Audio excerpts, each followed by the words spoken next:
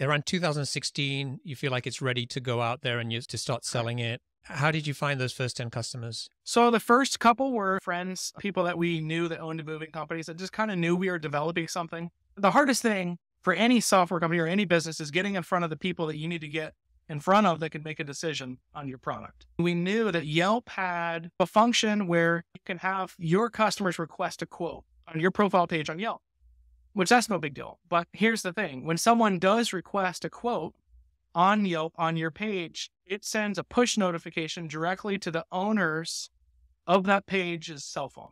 And it goes a little further. Yelp penalizes that owner if they do not respond to the message with a certain amount of time. We were very forward. We say, hey, I'm just curious, what moving software are you guys using? That was it. And then, you know, they would always reply and then she send a link to our website.